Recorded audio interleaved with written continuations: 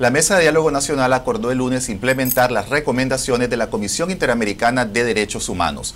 Mañana miércoles se realizará la tercera sesión de trabajo con la agenda centrada en la necesidad de democratizar el país. Y para analizar el trabajo de esta mesa de cara a hallar una solución a la profunda crisis que vive Nicaragua, hoy nos acompañan en el estudio la doctora María Luisa Costa, presidenta de la Academia de Ciencias de Nicaragua, y el doctor Ernesto Medina, rector de la Universidad Americana. Muchas gracias por estar con nosotros. Gracias. Buenas noches, Carlos. Gracias por tenernos acá.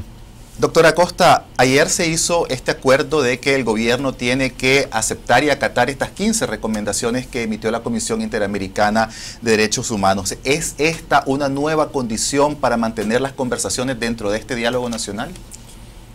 Pues es más bien un resultado de la, de la, de la del diálogo que, que, que, cuyos eh, integrantes es Estado y sociedad civil. ¿Verdad? En, todas, en muchas expresiones de sociedad civil, eh, que estamos eh, pendientes de lo que eh, la Comisión Interamericana estableció en su informe y que dentro de, en el seno de la, de la, mm, del diálogo, eh, se le va a dar seguimiento, el, Estado está comprometido de todas maneras, eso es su obligación darle seguimiento y, y, y, aplicar las recomendaciones, pero de, esta manera es una oportunidad para nosotros estar cerca, estar apoyando y estar eh, vigilantes también de que todo eso se cumpla, lo mismo que lo, lo, eh, la conferencia episcopal. Eh, doctor Medina, hay un punto que es bastante importante y que ha llamado la atención, bueno, internamente en el país, pero también a nivel internacional, que es la creación de un mecanismo de investigación internacional, independiente, autónomo, para esclarecer lo sucedido en Nicaragua desde el 18 de abril. ¿Cree que hay voluntad política del gobierno para... Eh, contribuir a que se forme este organismo internacional propuesto por la CIDH? Bueno, creo que va a ser una prueba más de la voluntad del gobierno de realmente buscar una solución integral a esta crisis y a nosotros nos alegró mucho ver que la comisión recogió este tema porque en las dos reuniones que nosotros tuvimos, la primera eh, con los muchachos y con otros participantes en la, en la mesa de diálogo y luego cuando ellos visitaron el, diálogo en sí, en el, seminario, se les hizo ver el colapso de las instituciones en Nicaragua, principalmente aquellas que están vinculadas con la impartición de justicia desde la Corte Suprema, los, los juzgados, la Fiscalía, y se les explicó pues, que aquí mucha gente no cree ni en medidas cautelares, ni hace denuncias a la policía, porque no, no, no, hay confianza y mucho menos ahora después de lo ocurrido a partir del 18. Me alegra que ellos lo hayan retomado y que lo hayan elevado a un órgano independiente internacional. Yo creo que ahora el reto está, como decía eh, María Luisa, de que en esta comisión de seguimiento que debe eh, crearse dentro del diálogo con representantes del gobierno y representantes de sociedad civil, se comiencen a trabajar esos temas y a concretarlos y yo estoy seguro de que ese va a ser uno de los temas principales a los que les vamos a poner atención. Pero ¿qué tipo de presiones pueden hacer dentro de la mesa del diálogo para que el gobierno acceda a eh, implementar estas 15 recomendaciones y principalmente un punto tan importante como este? Mira, eh, para mí es eh, la, comisión en sus diferentes grupos de, de técnicos que vinieron, se reunió con muchísimas personas ¿verdad? Habían colas para la gente poniendo su, los ciudadanos poniendo sus quejas. Y eh, una de las cosas que la gente le dijo fue que no creen en el sistema judicial. ¿Verdad? Que nuestro sistema judicial está viciado, eh, eh, también es parte de la, de, la de haberse desmontado en estos 11 años toda la institucionalidad. Y bueno, una prueba de esto es que vemos el caso de los dos jóvenes de Bluefields, ¿verdad? Que son dos jóvenes negros de, de la etnia criol que han sido eh, presentados en los canales de televisión de la familia Ortega Murillo como culpables, sin que haya habido un juicio, sin que un jurado los haya visto, ¿verdad? En violación a, derechos fundamentales, derechos humanos y constitucionales fundamentales, como es la presunción de inocencia.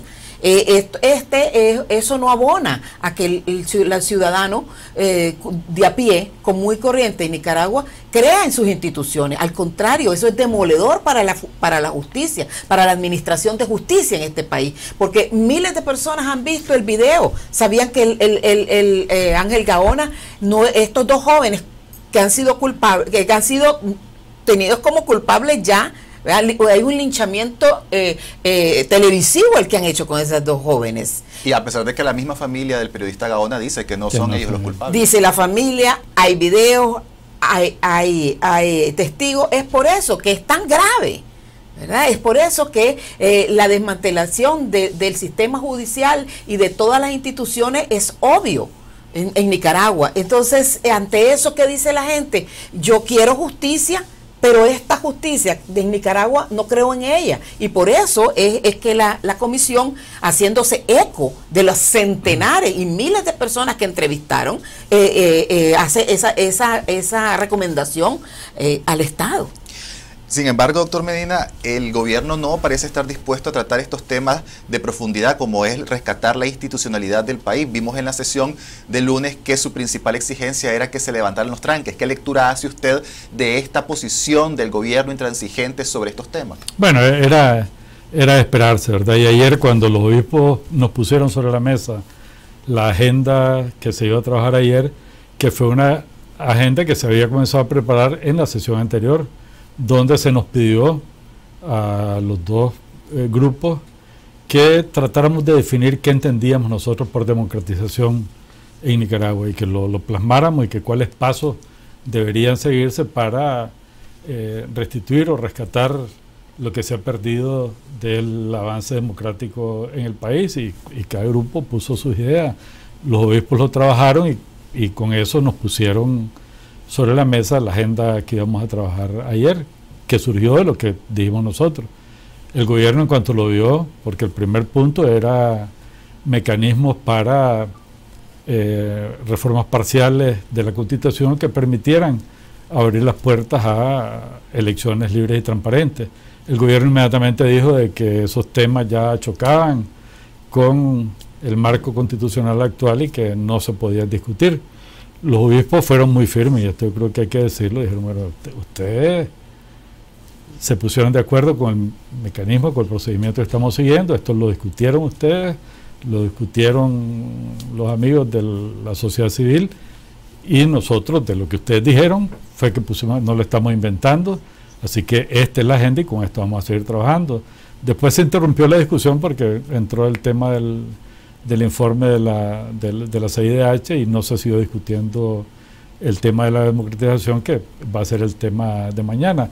Es obvio que el gobierno, y después oyendo lo que dijo la vicepresidenta en su intervención radial de todos los días, a mediodía, de que ellos van a discutir cualquier cosa menos el marco constitucional eh, del país, obviamente ellos van a tratar de, de darle largas, pero nosotros estamos convencidos de que este es lo que quiere el pueblo nicaragüense y que es la única manera no solo de salir de esta crisis, sino de que el país se encauce definitivamente pues, por un rumbo de estabilidad permanente, de desarrollo eh, con justicia, de respeto a los derechos humanos, de manera que tendremos que encontrar eh, los mecanismos para que el diálogo no, no se entrampe en esto. No va a ser fácil, pero estamos decididos a dar la batalla pero hay un acuerdo general de parte de este lado de la mesa del diálogo nacional de que una salida a la crisis que está afectando el país pasa por la salida del presidente Ortega y la vicepresidenta Rosario Murillo del poder?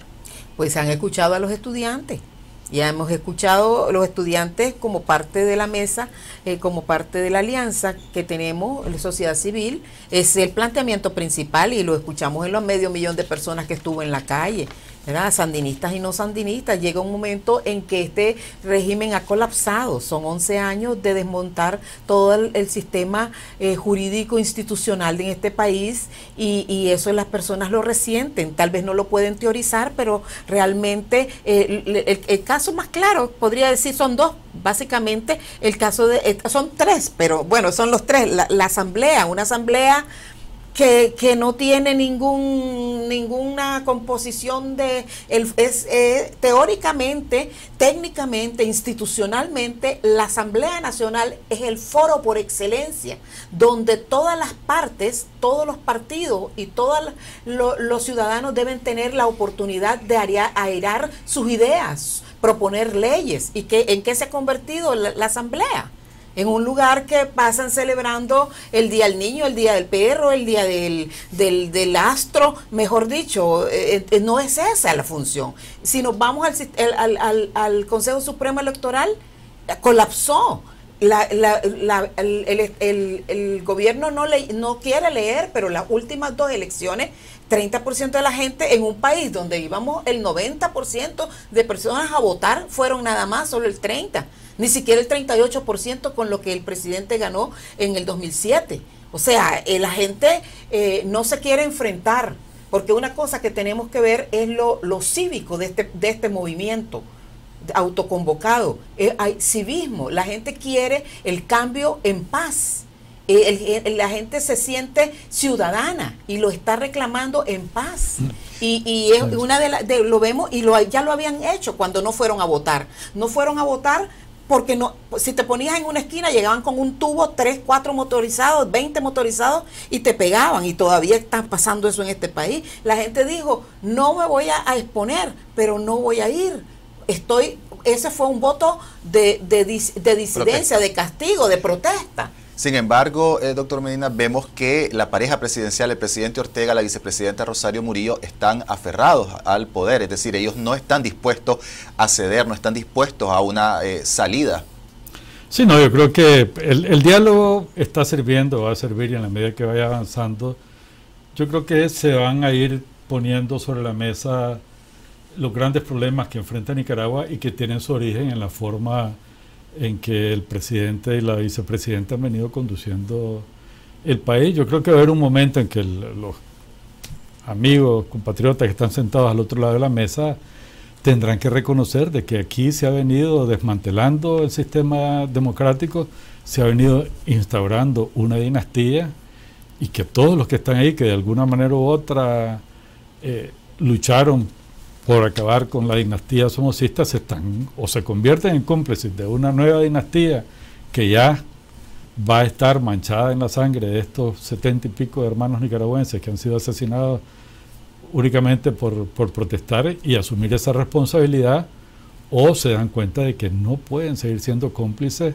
de un régimen que ha metido a Nicaragua en este enorme problema y tendrán que buscar una salida. Yo creo que el diálogo les ofrece a ellos y al gobierno también, pero yo cada vez tengo menos, menos esperanzas de que presidente y vicepresidente van a aceptar de que Nicaragua está viviendo una nueva realidad, que la Nicaragua de hoy ya no va a volver a la Nicaragua de antes del 18 de abril y que lo que les quedaría es o ser partícipes de alguna manera en reconstruir el país o construir el nuevo país por el que la gente se está movilizando o, asumir la enorme responsabilidad histórica de ser los destructores de Nicaragua, de un engaño histórico también al pueblo de Nicaragua que creyó en ellos, que, eran los que iban a traer la paz, la democracia, el progreso, la justicia social y que nos están encaminando a otra dictadura tan brutal y sangrienta como la,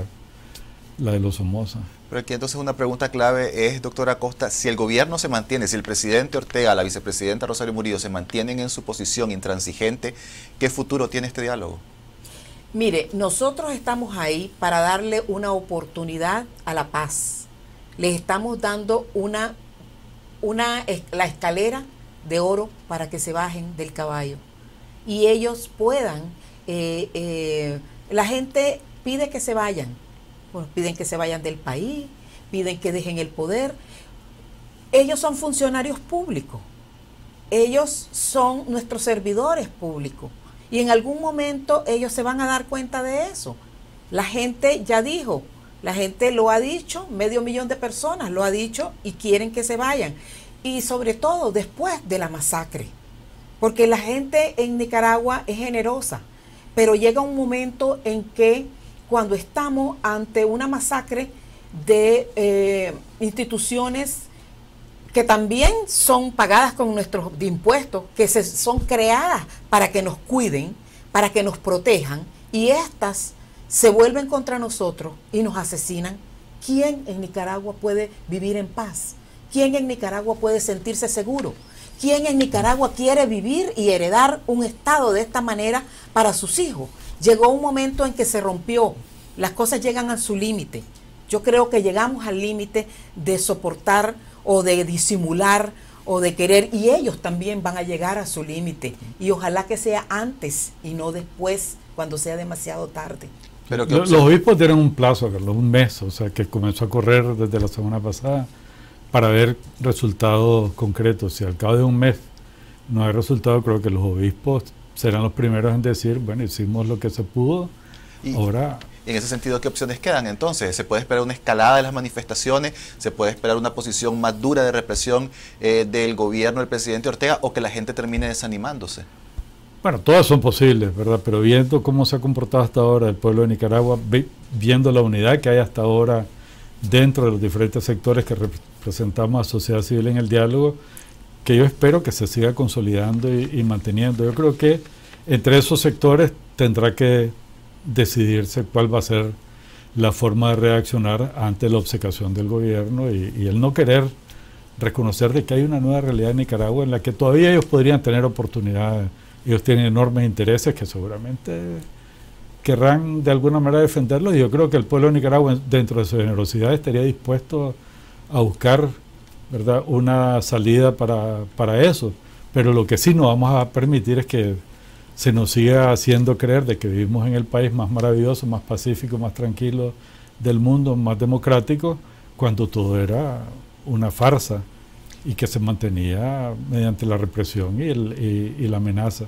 Entonces yo creo que esos escenarios habrá que verlos, todos son posibles. Y si estamos empeñados en el diálogo es porque uno de los escenarios sería el aumento de la represión, la respuesta violenta también del pueblo que de alguna manera tendrá que, defenderse frente a las la amenazas del gobierno y nadie quiere ese escenario sangriento, violento. Y por eso seguimos empeñados en el diálogo. Yo creo que puede haber otros escenarios en la medida en que sectores hasta ahora, afines al gobierno, se den cuenta que no pueden seguir manteniendo esta, esta mentira de una revolución traicionada, engañada y, que tienen un gran líder de izquierda de la revolución mundial al frente de ella. Creo que hay muchas cosas que pueden pasar y yo creo que lo positivo del diálogo es de que a todos nos está haciendo reflexionar, hablar, que antes no lo hacíamos, y a buscar soluciones. Al final yo creo que entre todos vamos a encontrar la mejor solución posible para Nicaragua. El gobierno eh, metió ayer un nuevo actor en esta mesa de diálogo, que es la Organización de Estados Americanos. El canciller Moncada dijo de que se está negociando un acuerdo con el secretario general y el presidente Ortega en Washington. ¿Qué opinan ustedes de este anuncio que hizo eh, el canciller Moncada ayer en la mesa de diálogo y cómo puede influir este nuevo actor, la OEA, en esta mesa, en estas discusiones? Bueno, después de la venida de la Comisión Interamericana de Derechos Humanos y después del informe que ellos han, han informe preliminar que ellos han presentado, la comunidad internacional eh, toma muy nota muy de cerca de lo que la de que una institución tan seria, tan profesional, tan íntegra como es la comisión ha dicho. Es, además que son los únicos que han venido en el terreno eh, in situ y han hecho su investigación en, campo, ¿verdad? Entonces, eh, cualquier cosa que cualquier institución política como la OEA vaya a hacer, la tendrá que hacer basada en lo que eh, la comisión ha, lo que el informe que la comisión ha, realizado. Nosotros, ellos hablaron del acuerdo que tenían con la OEA eh, para, para, la cuestión del, uh, sistema eh, electoral. que se inició hace años, ¿verdad? Un par de años, creo. Entonces, eso está desfasado. Nosotros después del 18 de abril de 2018 vivimos en otra Nicaragua. El contexto político y social y económico de este país es otro. Y por lo tanto, eh, ninguna institución internacional va a perder su prestigio por eh, eh, trabajar con, con bases desfasadas Y la comisión es bienvenida, el, el, el uh, secretario general Almagro y, es, esa, ese grupo de trabajo, el, relator especial de Naciones Unidas eh, sobre derechos humanos, todos son bienvenidos y necesitamos ese tipo de, ese tipo de apoyo para salir de este, de este atolladero. Queremos una salida cívica, legal. Eh, diplomática y jurídica para Nicaragua. Nadie quiere la guerra. La guerra no nos sirvió de nada. Hace 40 años estábamos sacando un dictador y ahora tenemos que sacar a otro, pero ahora nadie quiere poner su sangre. Y, nadie tiene por qué poner su sangre si somos ciudadanos. Y, los, y, y los gobiernos son nuestros servidores públicos y ya se le venció su tiempo. Sin embargo, llama la atención, doctor Medina, que el secretario general Almagro eh, mantenga una posición eh, no tan beligerante en el caso de Nicaragua como la que ha mantenido con Venezuela, por ejemplo, e, o incluso con Honduras. Ayer en Washington hubo una actividad relacionada a Nicaragua y él hablaba de que la salida aquí van a ser elecciones libres y transparentes, manteniendo el discurso que ha tenido, como dice la doctora Costa, desde hace dos años sobre la situación del país. ¿Qué opinión tiene usted de esas declaraciones titubeantes del secretario general? No, son lamentables y muestran un desconocimiento total eh, de lo que está ocurriendo ahora en Nicaragua y, sugiere también pues de que hay algún tipo de componenda política entre el gobierno y él como secretario general, porque no creo que esta sea la posición de la organización en general.